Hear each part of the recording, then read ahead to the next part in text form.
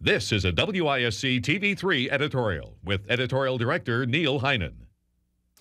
The UW's Waisman Center is one of 15 centers in the country dedicated to research into human development, developmental disabilities, and neurodegenerative diseases.